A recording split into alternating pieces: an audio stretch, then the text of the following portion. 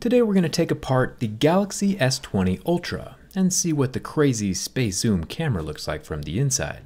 This video is sponsored by my own self. I went and asked myself if I would like to sponsor a video. And I was like, hey self, do you want to sponsor a video? And then I was like, yeah I do.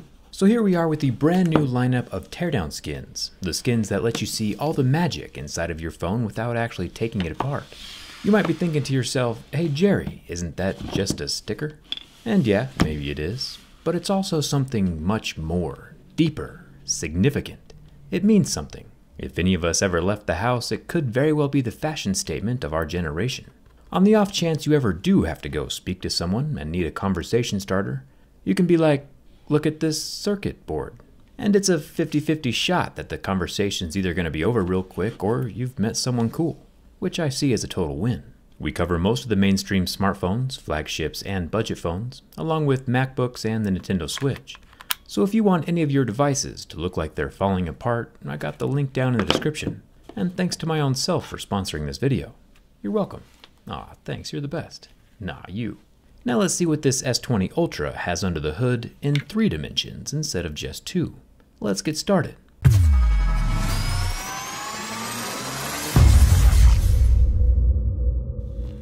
Does 5G even exist? Well, yes, but also no. We'll learn more about this as we delve inside the brand new S20 Ultra 5G, the latest and greatest from Samsung. The front screen is flat this time around, but the back panel is still as curvy as ever. I can take my heat gun and razor blade and slice between the glass panel and the metal frame of the phone. Now, purely for educational purposes, and definitely not on accident, I'm going to show what happens if you round the corner with too much pressure. Using a hot plate or vacuum separator tool would probably make this removal a bit easier. Luckily, replacement back glass panels are usually around 20 or $30, so it's not a big deal if it does crack. I'll keep the phone just barely too hot to touch so the waterproofing adhesive stays soft underneath the glass. And finally, after a lot of gentle slicing, the back panel can come away from the phone. You can see the holes through the camera lens here. The only connection that's on the back of the glass panel is actually for the little microphone, it's up here between the flash and the top camera. It has four little circular contact pads that allow the microphone to communicate with the body of the S20 Ultra. Speaking of which, the S20 Ultra body does have a wireless charging pad installed. It can wirelessly charge at 15 watts and reverse wireless charge other devices at 9 watts. Pretty cool little trick. I'll remove the five screws surrounding the top silver plate that covers all the ribbon cable connectors. I'll set that off to the side next to the screws I took out so I can keep everything organized. Then I'll unplug the battery with my plastic pry tool. It just unsnaps like a little Lego. I can uncover the rest of the motherboard by removing four more Phillips head screws that hold down the top antenna plastics. Notice there's a rectangular void in the plastic. There's something missing here, but I'll come back to it in just a second. There are five screws holding down the bottom loudspeaker assembly, the speaker plastic has the normal contact pads for communicating, and a little red sticker covering the small balls inside of the speaker housing. Remember, these little guys help the speaker sound larger than it actually is by making the air move around the balls inside of the housing. It's a cute little technology. Coming up here to the top of the phone, I'll pop out the SIM and SD card tray. This guy can handle an additional terabyte of storage. Before we get to the cameras, there's a few more things I need to take out. First of all, these extension ribbons that connect the main board to the charging port board, each end disconnects like a little Lego, then I can set them off to the side. The charging port board itself has three screws holding it in place. Once these are removed, the whole board can come away from the phone. It is replaceable this time, which is a good thing, and pretty simple to take out. Samsung also included some extra red rubber underneath the charging port. And also, down here at the bottom of the phone, there is the little square vibrator motor. Now for the cameras. Samsung has done some new stuff this time around with the cameras. They're all still connected inside of the same metal housing, and in order to remove them, the whole motherboard needs to come away from the frame. It's a double stacked motherboard, just like we've seen inside of the iPhone and the Note 10 previously, and it's super thick. There is no thermal paste on the back this time around, which is strange. Normally we see that in high-end flagships. Each of the camera units has their own Lego-style connector. Three of them are plugged into the back side of the motherboard, and then the depth camera is the only one plugged into the front side. The top camera is a 12 megapixel ultra wide angle camera with no OIS. The middle camera is the 108 megapixel main camera, which does have optical image stabilization. We have the depth camera here on the side without any OIS, and then the periscope 100 times space zoom camera down here at the bottom, which supposedly has OIS with its 10x hybrid zoom. Now it's time to get inside the periscope camera because that seems like a fun activity. All of the cameras are permanently built together with a metal surrounding frame so that the phone can seamlessly transition between the four different sensors without them looking out of place or being in a different position. Obviously the cameras are not meant to come apart, but with enough aggressive persuasion, I can get that 100 times space zoom camera to fall out of the frame, which starts showing us some pretty cool stuff. We first saw this technology inside of the P30 Pro a year ago, but Samsung has taken that periscope zoom hardware to the next level Notice these copper coils. I'll come back to these in a second.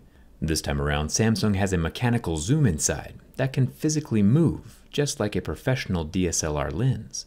At the bottom end of the camera, we have the sensor, which is sitting perpendicular to the back of the phone. This is a 48 megapixel sensor, and you can see that whatever light I shine through the lens gets bounced off at a 90 degree angle. This is how the sensor sees things outside of the phone, like a periscope in a submarine. You'll also notice that the prism, or the portion that reflects the light, is optically stabilized. The copper electromagnetic coils at the bottom and the two circular coils next to it control the prism stabilization. The other two coils on the side control the center lens movement back and forth. This one camera has five electromagnets inside, which is kind of mind-boggling. We've come a long way in just one year. Technology progresses super fast. Now, don't get me wrong, this is a fantastic piece of hardware, but I feel like the 100 times space zoom commercials that Samsung gave us hyping this up are very much different than the actual zoomed in images that we get out of the camera. So definitely go watch a few videos on the actual camera quality before buying into the hype. It's better to have realistic expectations. Samsung's advertising isn't as realistic as it used to be. The front camera is glued into place for some reason. This is a 40 megapixel selfie camera with no optical image stabilization. And then once again, like we saw in the Note 10 Plus, we have the top stereo speaker here, positioned a bit farther into the phone body instead of up at the top.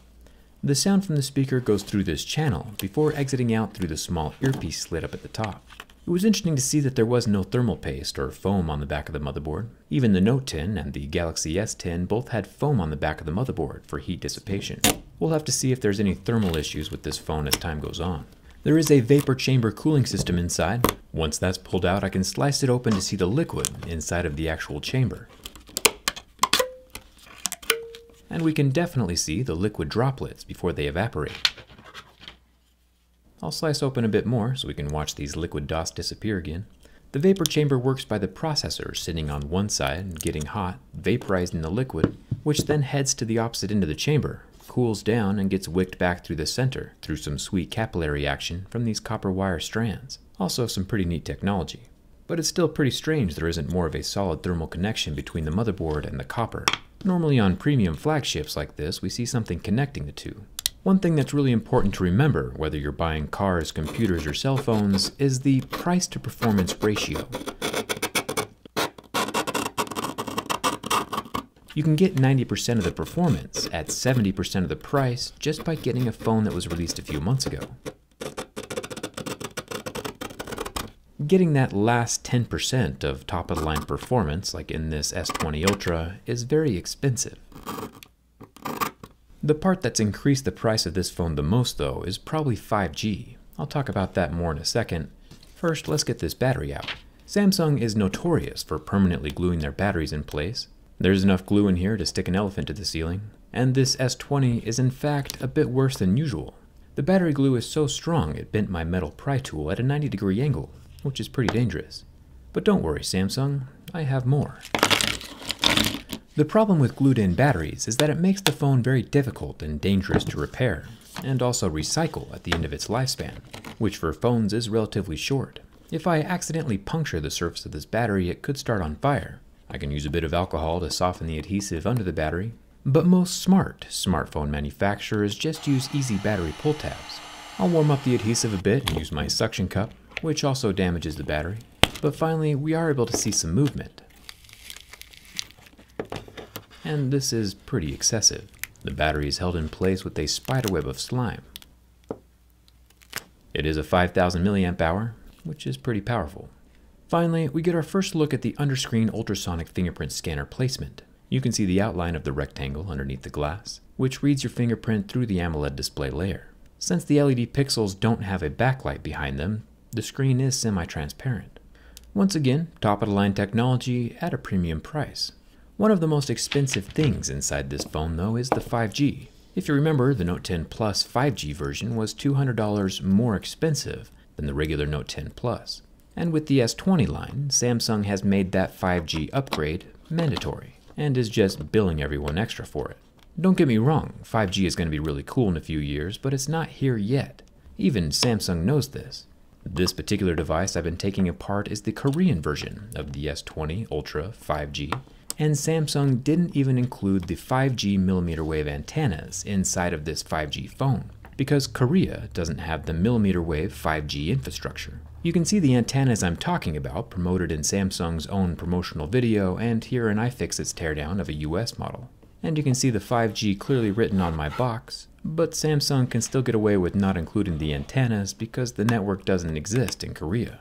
The millimeter wave 5G technology is also almost non-existent in the USA as well. It's just in a few major cities right now, and only covers a few blocks where it is installed. There are two types of 5G, low-band 5G, which the major carriers are currently rolling out, and it is indeed faster than 4G, but the insane millimeter wave speeds will never really make it out of the major cities, and that's even if it ever gets installed. It's not here yet.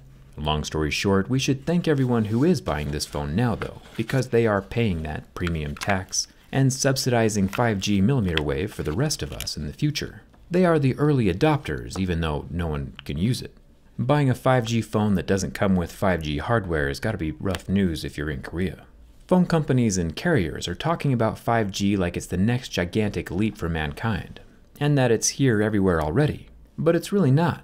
The only gigantic leap that's being taken is with your wallet, at least for 2020, and probably 2021. We'll see what happens after that. Turning the phone on, everything is working, except for that camera we destroyed. Looks like when one camera is broken, they all stop working. Either way, it's been a fun phone to take apart. What do you think of this whole 5G situation? Personally, I'll probably hold off for a few more years till the 5G infrastructure is more widespread.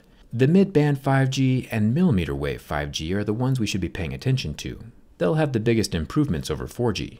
Everyone is different though, so let me know what you think down in the comments. If you like seeing the inside of technology without the risk of opening your own stuff up, there's always the teardown link I'll include in the description. Come hang out with me on Instagram and Twitter, and thanks a ton for watching. I'll see you around.